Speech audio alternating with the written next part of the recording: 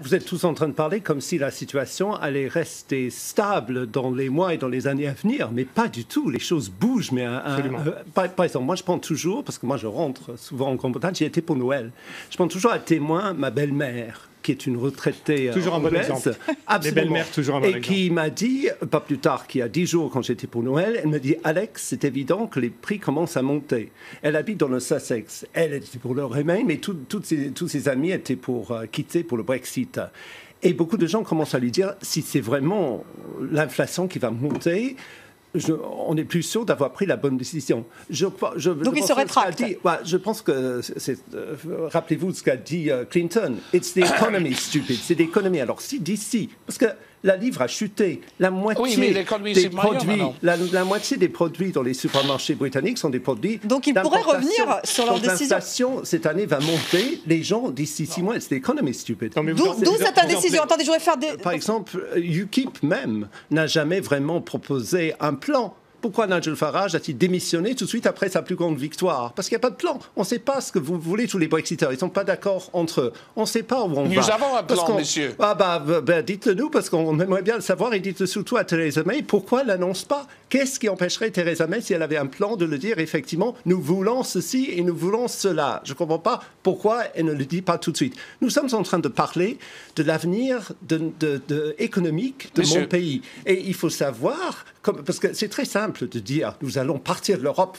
claironner partout, nous quittons l'Union européenne, nous quittons le, le marché unique parce qu'on n'en veut plus. C'était un, un, objectif électoraliste au départ. Je ne sais hein. pas si M. Coburn a passé, moi j'ai passé 20 ans au Parlement européen, j'ai lu des traités, des textes, euh, je ne sais pas si vous avez négocié euh, des, des, traités, c'est rudement difficile. C'est pour non. ça que euh, ce, ce Rogers parlait de 10 ans, effectivement, je crois qu'il n'y a pas de temps pour négocier l'avenir que va devenir ça, notre l'économie britannique ça, Moi, je me souviens, juste pour finir, moi, je suis arrivé en France il y a 30 ans, j'ai quitté mon pays quand c'était l'homme malade de l'Europe, au moment où nous venions seulement, nous quémandions l'entrée dans l'Union européenne. Nous sommes maintenant la cinquième puissance, sept, enfin, nous sommes tombés à euh, septième puissance depuis le, le vote sur Donc le Brexit. l'Europe a profité ben, oui, au Royaume-Uni. Grâce, grâce à notre présence dans l'Union européenne. Il Enfin, lorsqu'on parle de deux ans, ça paraît très court face à toutes ces difficultés non. juridiques et politiques. Alors, moi, c'est la, même, euh, la même réponse que tout à l'heure. Je vous donne toujours la même non. réponse. It's the economy stupid.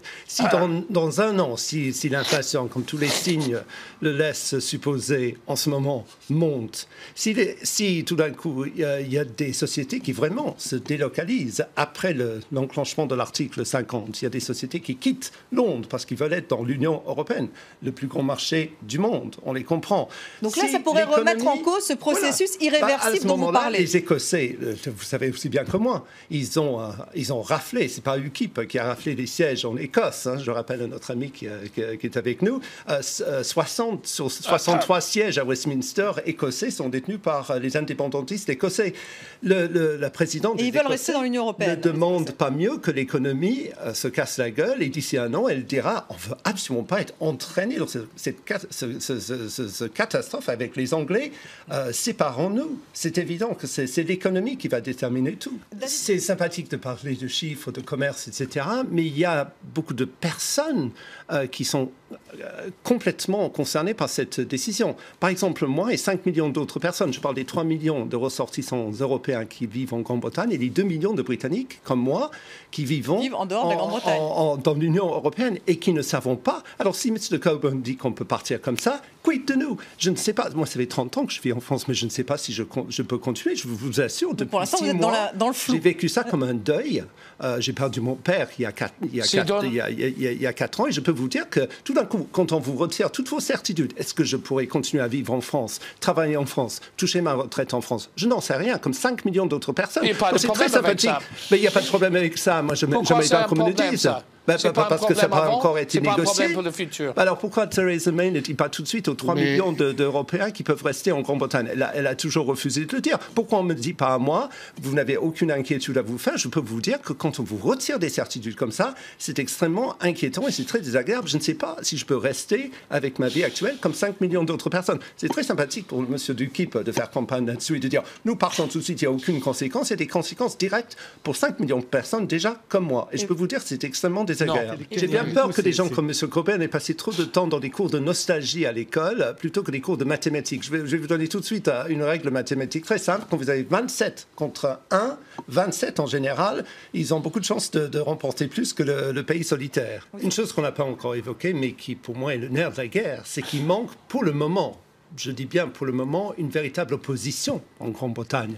Parce que le parti travailliste de Jeremy Corbyn est de plus en plus à gauche, mais a de moins en moins d'influence. Parce que Jeremy Corbyn, par exemple, a fait vaguement campagne poussée par ses députés pour rester, mais tout le monde sait qu'il était plutôt pour partir. Il y a un énorme trou pour le moment au milieu centriste et pro-européen.